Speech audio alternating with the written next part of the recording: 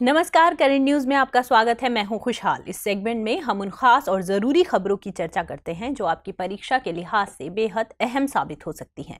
ये बीते हफ़्ते की वो बड़ी खबरें होती हैं, जिनके इर्द गिर्द आपकी परीक्षा के सवाल बनाए जा सकते हैं। आइए सबसे पहले हेडलाइंस पर डालते हैं नज़र। शिवसेना के दोनों गुटों को मिला नया चुनाव चिन्ह। शिवसेना का चुनाव चिन्ह हुआ था जब्त। निर्वाचन प्रतीक आदेश उन्नीस सौ अड़सठ के तहत होती है कार्रवाई। तलाक के किनाया और तलाक बाइन को सुप्रीम कोर्ट में मिली चुनौती, तलाक की समान प्रक्रिया की सरकार से मांग। कोर्ट ने सरकार को जारी किया नोटिस। मोढेरा बना देश का पहला सौर ऊर्जा संचालित गाँव, प्रधानमंत्री ने की इसकी घोषणा। सूर्य मंदिर के लिए जाना जाता है यह गाँव। Central bank digital currency concept note हुआ जारी। डिजिटल मुद्रा पर जागरूकता लाना है मकसद। आरबीआई जल्द लॉन्च कर सकता है डिजिटल करेंसी। और सिप्री ने हथियार आत्मनिर्भरता से जुड़ी रिपोर्ट की जारी। तीन इंडिकेटर्स के व्यापक विश्लेषण पर आधारित है रिपोर्ट। इंडो पैसिफिक देशों की सूची में चौथे स्थान पर है भारत।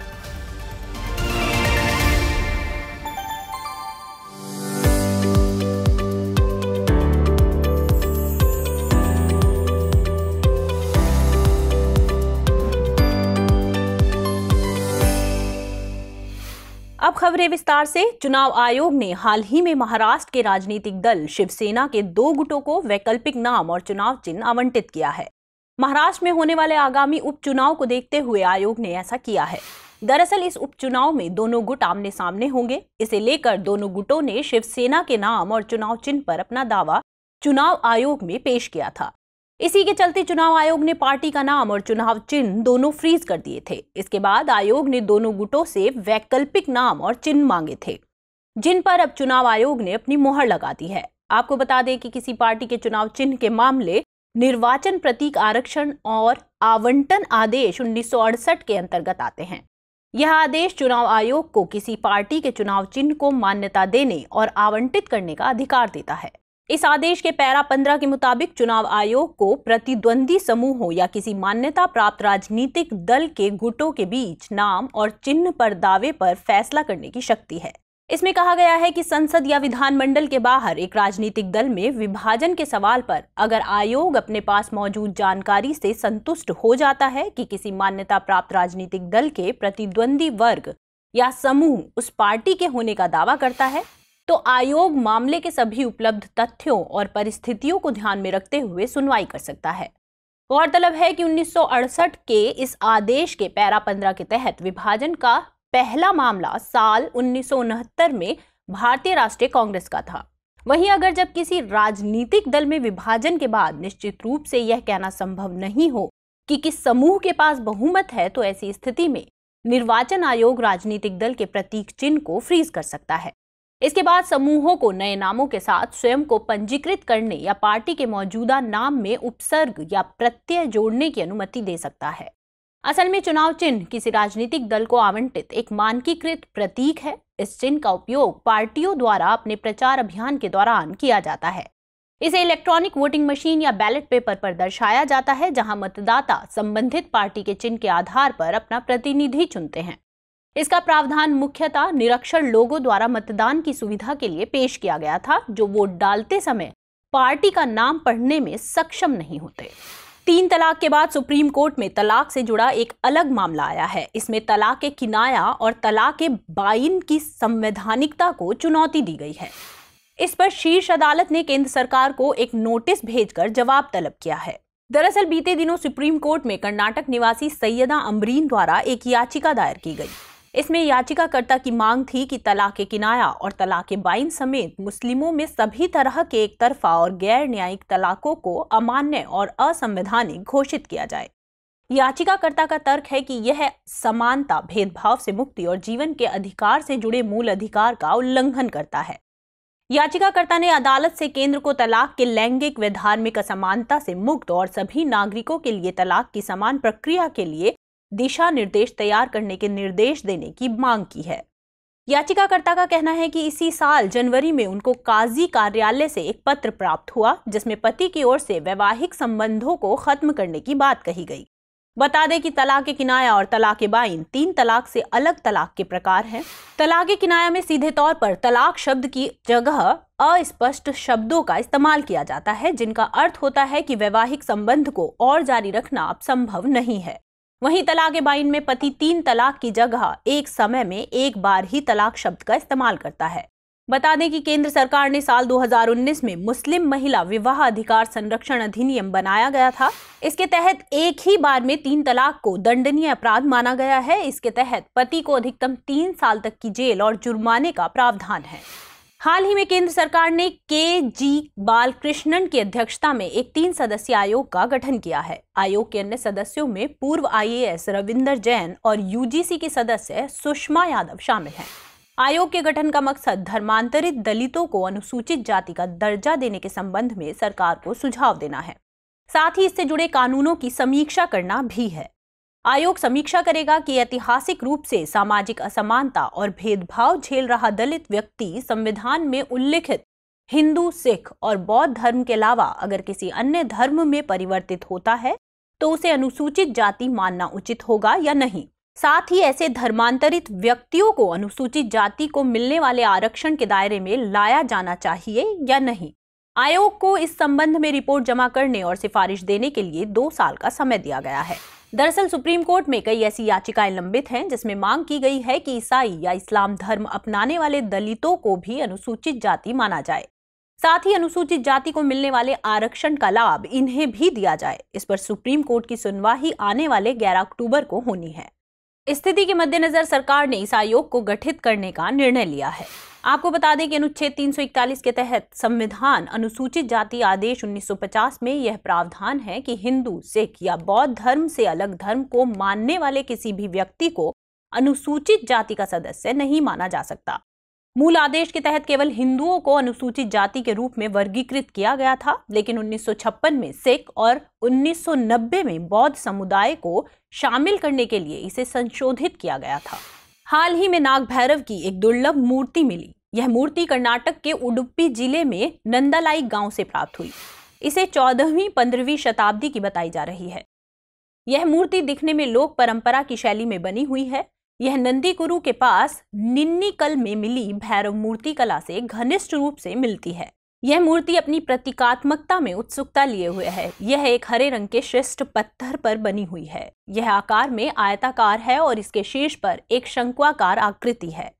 पत्थर के तल पर चार गांठ मारे हुए एक एकल हुड या फन वाले नाग को दिखाया गया है, जो पत्थर के एक चौथाई भाग को कवर किए हुए है। इसमें भैरव को चार हाथों के साथ खड़ी मुद्रा में चित्रित किया गया है। उनके पिछले हाथों में दो सर्प हैं और उनके सामने के दाहिने हाथ में एक नाग दंड तथा बाएँ हाथ में मानव का सिर है। इसके बाद शीर्ष पर नाग और दो नाग कणिकाएँ नागिनों को पकड़े हुए खड़ी दिखाई देती हैं। इसके अलावा नाग भैरव के सिर पर पाँच फन वाले सर्प की एक छाता नुमा आकृति दिखाई गई है। इसमें नाग भैरव को पवित्र धागा या जनेऊ तथा कमर के नीचे वस्त्र पहने हुए दिखाया गया है। आपको बता दें कि नाग भैरव अष्ट भैरव का एक हिस्सा है। असल में अष्ट भैरव भगवान शिव के आठ अवतार हैं, जो आठ दिशाओं की रक्षा और उन पर नियंत्रण करते हैं। इनमें नाग भैरव दक्षिणी दिशा के संरक्षक माने जाते हैं। भैरव को तीर्थों का क्षेत्रपाल भी कहा जाता है। नाग भैरव पंथ जैन देवी पद्मावती के साथ निकटता से जुड़ा हुआ है। दरअसल पद्मावती जैन देवी होने के साथ एक नाग देवी भी थी। हाल ही में प्रधानमंत्री श्री नरेंद्र मोदी ने मोढेरा के सूर्य मंदिर का दौरा किया है। इस अवसर पर मंदिर में थ्री लाइट और साउंड शो का आयोजन किया गया। प्रधानमंत्री ने यहाँ कई परियोजनाओं का उद्घाटन और उनकी आधारशिला रखी। इसके साथ ही मोढेरा को प्रधानमंत्री मोदी ने देश का पहला सौर ऊर्जा संचालित गाँव घोषित किया। मोढेरा में हर एक घर को सौर पैनल से ऊर्जा 24 फोर इंटू सेवन प्राप्त होगी। गौरतलब है कि मोढेरा पुष्पावती नदी के तट पर स्थित एक गाँव है। यह गुजरात के मेहसाणा ज़िले में स्थित है। इस गाँव को मुख्यतः सूर्य मंदिर के लिए जाना जाता है। मुढेरा के सूर्य मंदिर का निर्माण सोलंकी वंश के भीमदेव प्रथम के शासनकाल के दौरान 1026 से 27 ईस्वी में कराया गया था।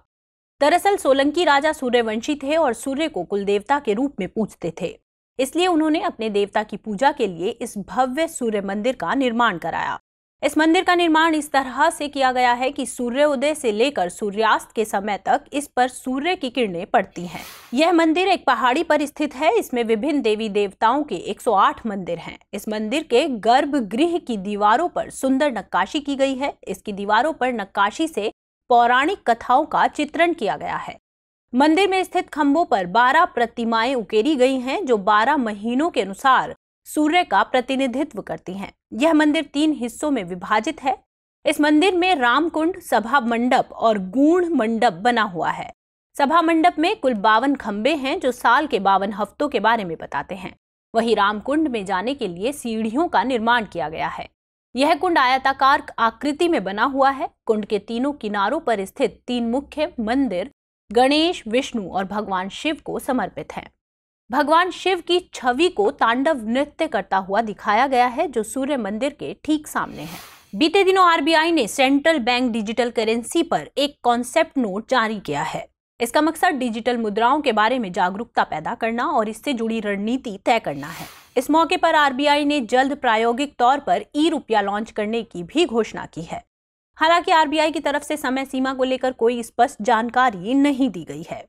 आरबीआई ने इसकी घोषणा करते समय स्पष्ट किया है कि डिजिटल करेंसी मौजूदा पेपर नोट का केवल विकल्प होगी। साथ ही पेपर नोट को पूरी तरह से खत्म नहीं किया जाएगा। गौरतलब है कि वित्त मंत्री ने इस साल के बजट में चालू वित्त वर्ष में डिजिटल करेंसी शुरू करने की घोषणा की थी। आरबीआई के मुताबिक अभी तक दुनिया में लगभग 105 देश खुद की डिजिटल करेंसी लाने की तैयारी में हैं। चीन और दक्षिण कोरिया उन देशों में शुमार हैं जिन्होंने अपने डिजिटल करेंसी का परीक्षण शुरू भी कर दिया है। दरअसल डिजिटल करेंसी किसी देश की फिएट मुद्रा का डिजिटल रूप होती है।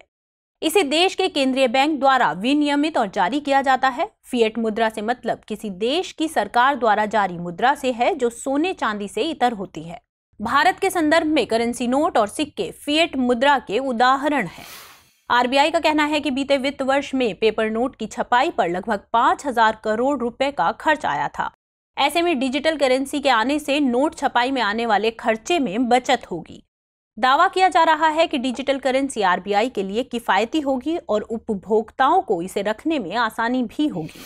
हाल ही में विश्व बैंक ने South Asia economic focus report जारी की। इसका शीर्षक coping with shocks migration and the road to resilience है। रिपोर्ट ने चालू वित्त वर्ष में भारतीय अर्थव्यवस्था की समृद्धि दर के 6.5 फ़ीसदी रहने का अनुमान लगाया है। यह आंकड़ा विश्व बैंक के पहले अनुमानित 7.5 फ़ीसदी से एक फ़ीसदी कम है। रिपोर्ट के मुताबिक 2023 से 24 में समृद्धि दर के 7 फ़ीसदी रहने का अनुमान है, जबकि बीते वित्त वर्ष यानी 2021-22 में अर्थव्यवस्था की समृद्धि दर 8.7 फ़ीसदी रही है। विश्व बैंक ने भारत की आर्थिक समृद्धि को कम आंकने का कारण रूस यूक्रेन युद्ध, सख्त वैश्विक मौद्रिक सामानों की उच्च कीमतों और ब्याज दर को बताया है चूँकि बढ़ती मांग के मद्देनजर सख्त मौद्रिक नीति का सहारा लेना पड़ता है नतीजतन अर्थव्यवस्था की वृद्धि में कमी आती है। रिपोर्ट का कहना है कि कोविड लॉकडाउन के बावजूद मांग में वृद्धि के चलते भारत का विनिर्माण और सेवा क्षेत्र दुनिया के बाकी देशों की तुलना में तेज़ी से बढ़ा है। इसलिए अप्रैल जून तिमाही में इन क्षेत्रों में उत्पादन लगभग तेरह फ़ीसदी रहा। रिपोर्ट के मुताबिक भारतीय अर्थव्यवस्था का विकास दर दक्षिण एशिया के औसत आर्थिक विकास दर से अधिक अनुमानित है, लेकिन भारत की रोज़गार और आपूर्ति श्रृंखला में कमी रहने की उम्मीद है। हालाँकि आपूर्ति श्रृंखला में इस साल मामूली सुधार हुआ है, जबकि रोज़गार सूचकांक में मासिक आधार पर रिकवरी जारी है। यह सुधार एशिया को छोड़कर बाकी देशों की तुलना में कम है। रिपोर्ट के मुताबिक श्रीलंका, पाकिस्तान और यूक्रेन की आर्थिक रिकवरी असमान रहेगी। वहीं जो देश सेवा क्षेत्र को अधिक तवज्जो देते हैं, वे प्रतिकूल परिस्थितियों के बावजूद उचित रिकवरी करने में सक्षम रहेंगे। दक्षिण एशिया के देशों में अफ़गानिस्तान, श्रीलंका और पाकिस्तान ऐसे देश हैं जहाँ आर्थिक बदहाली के चलते गरीबी बढ़ सकती है। रिपोर्ट का दावा है कि आर्थिक विकास दर के चालू वित्त वर्ष सहित अगले दो सालों तक अफ़गानिस्तान को छोड़कर दक्षिण एशिया में पाँच दशमलव आठ फ़ीसदी रहने की उम्मीद है। यह वृद्धि दर साल 2021 में सात दशमलव आठ फ़ीसदी रही है। श्रीलंका के संदर्भ में विश्व बैंक का अनुमान काफ़ी चिंताजनक है। विश्व बैंक का कहना है कि चालू वित्त वर्ष में श्रीलंका की अर्थव्यवस्था नौ दशमलव दो फ़ीसद तक सिकुड़ सकती है, जबकि अगले साल 2023 में इसके 4.2 फ़ीसद तक सिकुड़ने की संभावना है। बीते दिनों इटली के रोम में आठवें विश्व वन सप्ताह का आयोजन किया गया। आयोजन के दौरान एफएओ यानी फ़ूड एंड एग्रीकल्चर ऑर्गेनाइजेशन ने एक रिपोर्ट जारी की। इसका नाम mainstreaming biodiversity in forestry है। रिपोर्ट में आर्थिक लाभ के लिए प्रबंधित वन को जैव विविधता संरक्षण के लिए महत्वपूर्ण बताया गया है। इस तरह के उत्पादक वनों में जैव विविधता को मुख्य धारा में शामिल करने की सिफारिश की गई है। बता दें कि जैव विविधता को मुख्य धारा में शामिल करने की रणनीतियों में सकारात्मक प्रभाव डालने वाली वन संबंधी नीतियाँ योजना, कार्यक्रम और निवेश को प्राथमिकता देना आदि शामिल है। इसके अलावा रिपोर्ट ने विभिन्न उपायों और कार्यवाहियों को अपनाने की भी सिफारिश की है। इसके तहत अवैध वन कटाई को रोकना, बहुक्षेत्रीय दृष्टिकोण अपनाना, आर्थिक प्रोत्साहन, बाज़ार आधारित उपकरणों का इस्तेमाल और क्षमता विकास आदि विभिन्न उपाय शामिल हैं। दरअसल जैव विविधता को मुख्यधारा में शामिल करने से मतलब सार्वजनिक और निजी इकाइयों की नीतियों रणनीतियों और प्रथाओं में जैव विविधता के विचारों को शामिल करने से है। इसका मकसद प्राकृतिक संसाधनों का संरक्षण और सतत उपयोग को बढ़ावा देना है। एफ़ के वानिकी वैधानिक निकाय ने साल 2020 में एफएओ को वानिकी क्षेत्र में जैव विविधता को मुख्यधारा में शामिल करने के लिए कहा था। रिपोर्ट के मुताबिक वन और उनकी जैव विविधता खतरनाक दर से समाप्त हो रही है। वनों की कटाई इसका सबसे बड़ा कारण है। हर साल लगभग 10 मिलियन हेक्टेयर वनों की कटाई कृषि विस्तार के लिए की जाती है। अन्य कारणों में लकड़ी कटाई, आक्रामक प्रजातियों का आक्रमण, जलवायु परिवर्तन, मरुस्थलीकरण और जंगल की आग शामिल है। रिपोर्ट का मानना है कि वर्तमान में संरक्षित क्षेत्रों में जैव विविधता संरक्षण से जुड़े कमज़ोर कानून और इनका प्रवर्तन सबसे बड़ी बाधा है। गौरतलब है कि संयुक्त राष्ट्र रणनीतिक वन योजना 2017 से 2030 के तहत जैव विविधता में वनों की भूमिका को प्रमुख बताया गया है। साथ ही साल 2019 में एफएओ ने भी कृषि क्षेत्रों में जैव विविधता को मुख्यधारा में शामिल करने की रणनीति बनाई और इसे लागू भी की थी। एफ़ के मुताबिक वर्तमान में वन दुनिया की लगभग 31 फ़ीसदी भूमि को कवर करते हैं, साथ ही लगभग दो गीगाटन कार्बन का भंडारण करते हैं। हाल ही में राजधानी दिल्ली में B twenty Indonesia global dialogue आयोजित किया गया। इस सम्मेलन की मेजबानी डीपीआईआईटी यानी department for promotion of industry and internal trade ने कन्फेडरेशन ऑफ़ इंडियन इंडस्ट्री के सहयोग से किया है। इस सम्मेलन का मकसद भारतीय उद्योग दृष्टिकोण को बी ट्वेंटी इंडोनेशिया की नीतिगत सिफारिशों के समरूप बनाना है। दरअसल अगले महीने इंडोनेशिया के बाली में जी ट्वेंटी शिखर सम्मेलन का आयोजन किया जाना है। इस मीटिंग में इंडोनेशिया उभरती अर्थव्यवस्थाओं के एजेंडे को मज़बूत करने के लिए कुछ मुद्दों पर भारत का समर्थन चाहता है। इसमें एमएसएमई क्षेत्र और खासकर महिला उद्यमियों की मदद के लिए शुरू की गई विरासत परियोजनाओं को बढ़ावा देना शामिल है। असल में अभी तक जी ट्वेंटी का एजेंडा विकसित देशों के हितों को साधते हुए तैयार किया जाता था। लिहाजा भारत, इंडोनेशिया, ब्राज़ील और दक्षिण अफ्रीका जैसे उभरते देशों को खुद के एजेंडे को आगे बढ़ाने के लिए एक साथ आने की ज़रूरत है। आपको बता दें कि बी ट्वेंटी यानी बिज़नेस ट्वेंटी वैश्विक व्यापार समुदाय के साथ आधिकारिक जी ट्वेंटी संवाद का एक मंच है।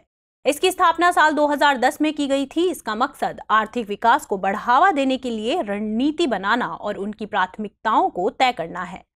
साथ ही उद्देश्यों को प्राप्त करने के लिए यह नीतिगत सिफारिशें भी देता है। जी ट्वेंटी यूरोपीय संघ सहित 19 देशों का एक समूह है। यह समूह वैश्विक जीडीपी का लगभग पिचासी फ़ीसदी, वैश्विक व्यापार का पिछहत्तर फ़ीसदी और दुनिया की 60 फ़ीसदी आबादी का प्रतिनिधित्व करता है। हाल ही में केंद्रीय स्वास्थ्य और परिवार कल्याण मंत्रालय ने टेलीमानस यानी tele mental health assistance and networking across states नामक एक नई पहल शुरू की। इसका मकसद कोविड 19 महामारी के मद्देनजर मानसिक स्वास्थ्य में सुधार करना है। केंद्र सरकार ने इस साल के बजट में राष्ट्रीय टेली मानसिक स्वास्थ्य कार्यक्रम की घोषणा की थी। टेली मानस इसी कार्यक्रम का एक प्रमुख भाग है। इस कार्यक्रम के ज़रिए पूरे देश में चौबीसों घंटे मुफ़्त टेली मानसिक स्वास्थ्य सेवाएँ प्रदान की जाएगी। इन सेवाओं को राष्ट्रीय स्तर पर एक टोल फ्री हेल्पलाइन नंबर से जोड़ा जाएगा, जो कई भाषाओं में सेवाएँ प्रदान करेगा। इसमें सेवाओं का लाभ उठाने के लिए पसंद की भाषा का चयन किया जा सकेगा। जब कोई व्यक्ति सेवाओं का लाभ लेने के लिए इस नंबर पर कॉल करेगा तो कॉल को संबंधित राज्य अथवा केंद्र शासित प्रदेश में स्थित टेली मानस सेल में भेजा जाएगा। इसके बाद सेल संबंधित व्यक्ति को सेवाएँ प्रदान करेगा। टेलीमानस कार्यक्रम को दो स्तरीय प्रणाली के माध्यम से लागू किया जाएगा। टीयर वन में राज्य स्तरीय टेलीमानस सेल शामिल है। इसमें प्रशिक्षित परामर्शदाता और मानसिक स्वास्थ्य विशेषज्ञ सेवाएँ प्रदान करेगा। टीयर टू के तहत जिला मानसिक स्वास्थ्य कार्यक्रम विशेषज्ञ और मेडिकल कॉलेज के इंस्ट्रूमेंट का प्रयोग प्रत्यक्ष सेवाएँ प्रदान करने के लिए किया जाएगा, जबकि ऑडियो विजुअल परामर्श के लिए ई संजीवनी विशेषज्ञों का प्रयोग किया जाएगा। प्रारंभ में टेलीमानस बुनियादी सहायता और परामर्श सेवाएँ प्रदान करेगा। बाद में इसे सरकार के अन्य स्वास्थ्य संबंधी कार्यक्रम जैसे राष्ट्रीय teleconsultation services e Sanjeevani Ayushman Bharat, digital mission आदि से जोड़ा जाएगा। इसके बाद धीरे धीरे मानसिक स्वास्थ्य सहित बीमारी के सभी प्रारूपों को शामिल किया जाएगा। एकीकृत माध्यम से लोगों के मानसिक स्वास्थ्य में सुधार लाने की योजना है।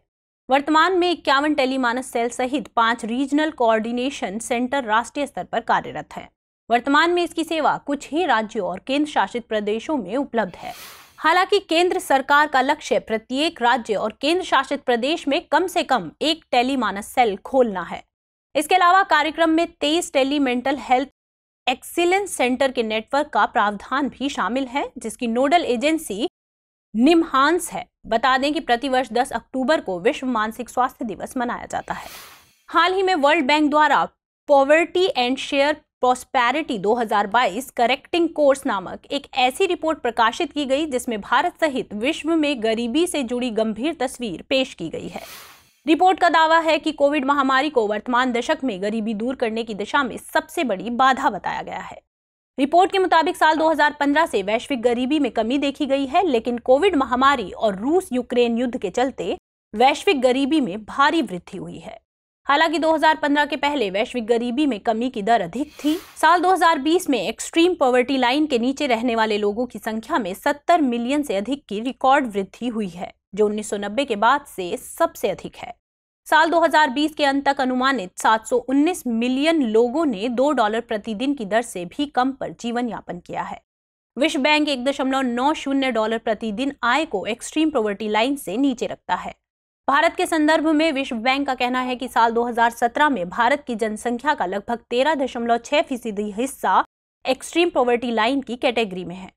विश्व बैंक का कहना है कि यह आंकड़ा सीएमआईई यानी centre for monitoring Indian economy के डेटा पर आधारित है। गौरतलब है कि भारत में गरीबी से जुड़े आंकड़े नीति आयोग द्वारा जारी किए जाते हैं। इसके लिए एनएसओ यानी नेशनल स्टैटिस्टिकल ऑफ़िस के पारिवारिक उपभोक्ता व्यय से जुड़े आंकड़ों का प्रयोग किया जाता है। साल 2011-12 में अंतिम बार नीति आयोग के पूर्ववर्ती योजना आयोग द्वारा गरीबी से जुड़े आंकड़े प्रकाशित किए गए थे। योजना आयोग के मुताबिक ग्रामीण क्षेत्रों के लिए प्रति व्यक्ति आठ सौ सोलह रुपए और शहरी क्षेत्रों के लिए एक हज़ार रुपए मासिक व्यय पर अखिल भारतीय स्तर पर गरीबी रेखा निर्धारित की गई। इसके अनुसार साल 2011 में भारत की कुल जनसंख्या में गरीबी का अनुपात इक्कीस दशमलव नौ फ़ीसदी था। बीते दिनों सिप्री यानी Stockholm international peace research institute द्वारा एक रिपोर्ट प्रकाशित की गई। रिपोर्ट का नाम arms production capabilities in the Indo Pacific region है। यह रिपोर्ट हथियारों के संदर्भ में आत्मनिर्भरता पर प्रकाश डालती है। गौरतलब है कि इस रिपोर्ट में इंडो पैसिफिक क्षेत्र के 12 देशों को शामिल किया गया है। देशों के नाम है ऑस्ट्रेलिया, चीन, भारत, इंडोनेशिया, जापान, दक्षिण Korea, Malaysia, Pakistan, Singapore, Taiwan, Thailand और वियतनाम। इसमें उन देशों को शामिल किया गया है जो अधिक सैन्य खर्च करते हैं। रिपोर्ट के मुताबिक भारत इस समूह में चौथे स्थान पर है। इस लिस्ट में चीन पहले, जापान दूसरे, साउथ कोरिया तीसरे स्थान पर है। वहीं पड़ोसी देश पाकिस्तान आठवें नंबर पर मौजूद है। रिपोर्ट के मुताबिक भारत के स्थानीय फर्मों द्वारा लाइसेंस प्राप्त हथियारों का उत्पादन और इनकी बिक्री के चलते भारत को सूची में चौथा स्थान मिला है। सिप्री के मुताबिक 2016 से 2020 के दौरान भारत विश्व में हथियारों का दूसरा सबसे बड़ा आयातक रहा। भारत लगभग पूरी तरह से विदेशी हथियारों के आयात पर निर्भर है। 2016 से 2020 के दौरान भारत की कुल हथियार खरीद में लगभग चौरासी फ़ीसदी हिस्सा विदेशी आयात का था। इसमें लाइसेंस हथियार के साथ घरेलू उत्पादन के लिए हथियारों के पार्ट शामिल थे। भारत की घरेलू हथियार निर्माता कंपनियाँ कुल खरीद का केवल 16 फ़ीसदी मुहैया कराती हैं। Hindustan aeronautics limited, Indian ordnance factories, Bharat electronics, Mazagon docks और कोचीन शिपयार्ड प्रमुख भारतीय हथियार मुहैया कराने वाली कंपनियों में प्रमुख हैं। जबकि भारतीय सेना को सबसे ज़्यादा ट्रकों की सप्लाई करने वाली company Ashok Leyland Indo Pacific क्षेत्र के शीर्ष 50 कंपनियों में प्रमुख स्थान रखती है। बता दें कि यह लिस्ट तीन इंडिकेटर्स के व्यापक विश्लेषण पर आधारित है। इसमें arms procurement arms industry uncrewed maritime vehicle indicator शामिल हैं। रिपोर्ट्स तैयार करते समय इन देशों के सेल्फ रिलायंट को इन इंडिकेटर्स के आधार पर मापा गया। इसके बाद यह रिपोर्ट तैयार की गई। खबरों के बाद अब बुलेटिन से जुड़े पाँच सवालों पर डालते हैं एक नज़र। इस बुलेटिन पर आधारित पाँच प्रश्न इस प्रकार हैं। पहला प्रश्न हाल ही में खबरों में रहे मोढेरा के संदर्भ में निम्नलिखित कथनों पर विचार कीजिए। कथन एक, ये पुष्पावती नदी के तट पर स्थित एक गाँव है। कथन दो, ये गुजरात के पाटन ज़िले में स्थित है।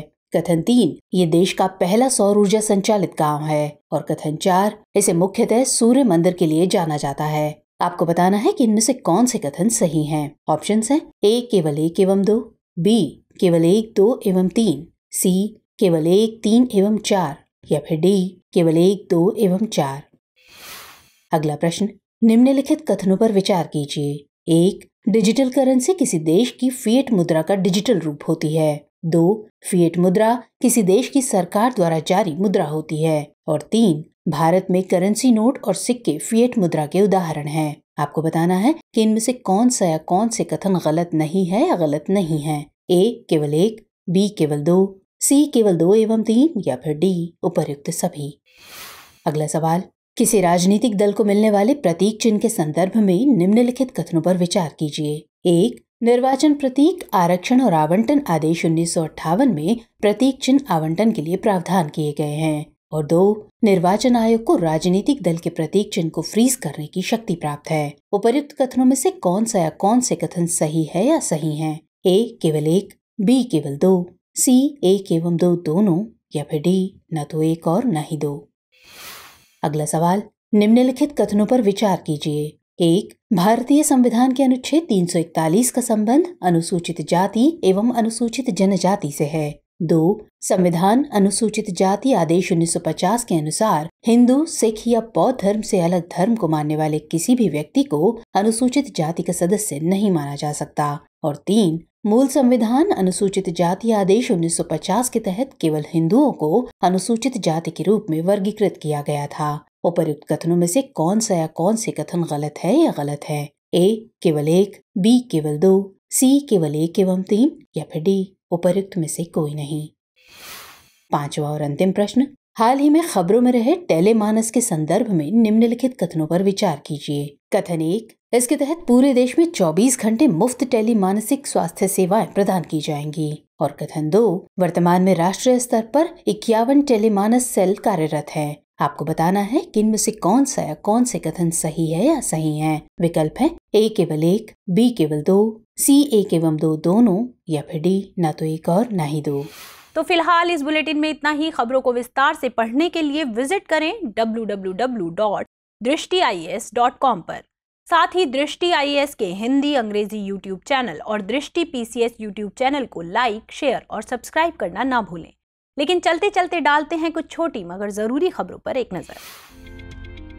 हाल ही में केंद्रीय परिवहन मंत्री नितिन गडकरी ने भारत में flexi fuel strong hybrid electric vehicles परियोजना की शुरुआत की। ये अपनी तरह की पहली पायलट परियोजना है और इस परियोजना के तहत आने वाली गाड़ी पेट्रोल के अलावा सौ फ़ीसदी मिश्रित इथेनॉल से भी चलेगी। इसके साथ ही इसे इलेक्ट्रिक पावर से भी चलाया जा सकेगा। आपको बता दें कि फ्लेक्स फ्यूल एक ईंधन है, जिसे गैसोलीन और मेथनॉल या इथेनॉल के साथ मिलाकर बनाया जाता है। इसमें पेट्रोल की कम मात्रा और बाकी चीज़ों की ज़्यादा मात्रा होती है। हाल ही में प्रधानमंत्री नरेंद्र मोदी ने उज्जैन में महाकाल कॉरिडोर का उद्घाटन किया है। ये कॉरिडोर करीब 850 करोड़ रुपए की लागत से बनकर तैयार हुआ है। इस कॉरिडोर को महाकालेश्वर मंदिर के आसपास पुनर्विकास परियोजना के एक हिस्से के रूप में विकसित किया गया है। 900 मीटर से ज़्यादा लंबा ये कॉरिडोर पुरानी रुद्र सागर झील के चारों ओर फैला हुआ है। गौरतलब है कि महाकालेश्वर भारत में 12 प्रसिद्ध ज्योतिर्लिंगों में से एक है। वहीं उज्जैन भारतीय समय की गणना के लिए केंद्रीय बिंदु हुआ करता था और महाकाल को उज्जैन का विशिष्ट पीठासीन देवता माना जाता था। गोवा अगले साल अक्टूबर में राष्ट्रीय खेलों के सैतीसवें संस्करण की मेजबानी करेगा। इसके लिए भारतीय ओलंपिक संघ ने अपनी मंजूरी दे दी है। हालाँकि सैतीसवें संस्करण की तारीखों की अभी पुष्टि नहीं की गई है और ये पहली बार है जब गोवा राष्ट्रीय खेलों की मेजबानी करेगा। गौरतलब है कि छत्तीसवें राष्ट्रीय खेलों को साल 2016 में गोवा में आयोजित किया जाना था, लेकिन इसे कई बार विभिन्न कारणों से स्थगित कर दिया गया था और इसके बाद इसे बाद में गुजरात में स्थानांतरित कर दिया गया। वहीं पैंतीसवें राष्ट्रीय खेल साल 2015 में केरल में आयोजित किए गए थे। हाल ही में अंतर्राष्ट्रीय मुद्रा कोष ने वित्त वर्ष 2022-23 के लिए भारत की आर्थिक विकास दर के अनुमान को घटाकर 6.8 फ़ीसदी कर दिया है। आईएमएफ ने भारत की आर्थिक विकास दर के अनुमान में ये दूसरी बार कटौती की है। आईएमएफ के मुताबिक वैश्विक कारणों के असर के चलते और सख्त मौद्रिक नीति के कारण भारत की आर्थिक विकास दर कम रह सकती है। आईएमएफ का कहना है कि रूस यूक्रेन युद्ध के प्रभाव, वैश्विक स्तर पर सख्त मौद्रिक नीति, मुद्रास्फीति और महामारी के प्रभाव के कारण भारत सहित पूरी दुनिया अगले वर्ष एक समग्र मंदी का अनुभव कर सकती है। बीते दिनों जम्मू कश्मीर के श्रीनगर में चौथे हेली इंडिया शिखर सम्मेलन 2022 का आयोजन किया गया। इस समिट का उद्घाटन केंद्रीय नागरिक उड्डयन मंत्री ज्योतिरादित्य सिंधिया ने किया। हेली इंडिया शिखर सम्मेलन का मकसद भारत में विश्व स्तरीय हेलीकॉप्टर निर्माण तंत्र बनाना है। इसका मकसद सभी उद्योग हितधारकों और नीति निर्माताओं को भारतीय हेलीकॉप्टर उद्योग की विकास कहानी, मुद्दों, चुनौतियों और आगे के लिए विचार मंथन समाधानों पर चर्चा करने के लिए एक साझा मंच प्रदान करना है। इसी से संबंधित एक पोर्टल हेली सेवा है जो पूरी तरह से ऑनलाइन है। सभी ऑपरेटरों द्वारा हेलीपैड पर लैंडिंग अनुमति प्राप्त करने के लिए इस पोर्टल का उपयोग किया जा रहा है। हाल ही में भारत में पहली बार वाडा एथलीट बायोलॉजिकल पासपोर्ट संगोष्ठी 2022 का आयोजन किया गया। इसे राष्ट्रीय डोपिंग रोधी एजेंसी और राष्ट्रीय डोप जाँच प्रयोगशाला द्वारा संयुक्त रूप से आयोजित किया गया। गौरतलब है कि पहली वाडा एबीपी संगोष्ठी नवंबर 2015 में कतर के दोहा में आयोजित की गई थी, जबकि वहीं दूसरी संगोष्ठी का आयोजन Italian federation of sports medicine द्वारा साल 2018 में इटली के रोम में किया गया था। आपको बता दें कि वाडा यानी विश्व डोपिंग रोधी एजेंसी की स्थापना साल 1999 में एक अंतर्राष्ट्रीय स्वतंत्र एजेंसी के रूप में की गई थी। इसे खेल संगठनों और दुनिया की सरकारों द्वारा वित्त पोषित किया गया था। इसकी प्रमुख गतिविधियों में वैज्ञानिक अनुसंधान, शिक्षा, डोपिंग रोधी क्षमताओं का विकास और विश्व डोपिंग रोधी संहिता की निगरानी करना शामिल है। हाल ही में भारत के मुख्य न्यायाधीश यू यू ललित ने डी वाई चंद्रचूड़ का नाम अपने उत्तराधिकारी के तौर पर नामित किया है। दरअसल 8 नवंबर 2022 को यू यू ललित का कार्यकाल पूरा होने वाला है। इसके बाद डी वाई चंद्रचूड़ देश के पचासवें मुख्य न्यायाधीश होंगे। आपको बता दें कि भारत में मुख्य न्यायाधीश के रूप में आमतौर पर सुप्रीम कोर्ट के वरिष्ठतम न्यायाधीश को चुना जाता है। मुख्य न्यायाधीश के लिए जिन नियमों का पालन किया जाता है, उन्हें मेमोरेंडम ऑफ़ प्रोसीजर कहा जाता है। दरअसल सुप्रीम कोर्ट व हाई कोर्ट के न्यायाधीशों को चुनने के लिए बना कॉलेजियम सिस्टम न तो संविधान में मौजूद है और न ही विधायिका के किसी कानून में। इसे साल उन्नीस सौ नब्बे में सुप्रीम कोर्ट के दो फैसलों के बाद बनाया गया था। हाल ही में सतर्क नागरिक संगठन की एक रिपोर्ट में आरटीआई यानी सूचना का अधिकार के संदर्भ में चौंकाने वाले आंकड़े सामने आए हैं। रिपोर्ट के मुताबिक पूरे भारत में 26 सूचना आयोग के पास करीब 3.15 लाख अपील लंबित हैं। आंकड़ों को देखने से पता चलता है कि लगातार हर साल आयोगों में लंबित अपीलों की संख्या बढ़ रही है। साल 2019 में लंबित अपीलों और शिकायतों की संख्या दो लाख अठारह हज़ार तीन सौ सैतालीस थी, जो साल 2022 में बढ़कर तीन लाख चौदह हज़ार तीन सौ तेईस हो गई है। आपको बता दें कि सूचना का अधिकार मुख्य रूप से भ्रष्टाचार के खिलाफ साल 2005 में एक अधिनियम द्वारा लागू किया गया था।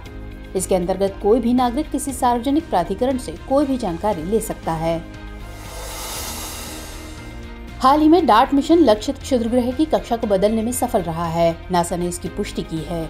मानवता ने किसी खगोलीय पिंड की गति में बदलाव किया है। आपको बता दें कि ऐसा पहली बार है कि जब किसी खगोलीय पिंड की कक्षा में बदलाव किया गया है। गौरतलब है कि डार्ट पहला ऐसा मिशन था जो गतिज प्रभाव के माध्यम से अंतरिक्ष में क्षुद्र ग्रह की गति को बदलकर क्षुद्र ग्रह विक्षेपण की एक विधि की जाँच और प्रदर्शन के लिए समर्पित था। हाल ही में इसराइल ने लेबनान के साथ एक ऐतिहासिक समझौते की घोषणा की है। इसका मकसद भूमध्य सागर में लंबे समय से चले आ रहे समुद्री विवाद को हल करना है। गौरतलब है कि इसराइल के अस्तित्व में आने के बाद से ही लेबनान और इसराइल के बीच समुद्री सीमा को लेकर विवाद है।